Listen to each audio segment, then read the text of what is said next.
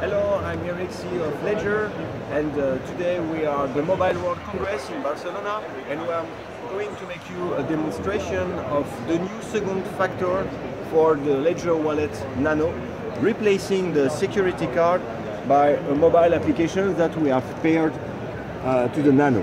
So, I want to send a transaction, so one millibit to this address, I'm clicking send, and the transaction is being prepared inside the chip.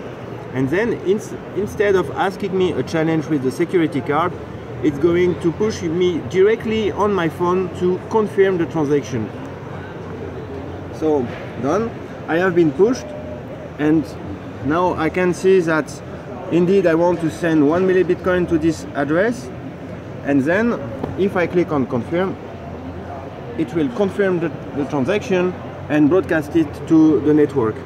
So this uh, new second factor will be available um, in a few weeks. Now we are in alpha test, soon we will start the beta test.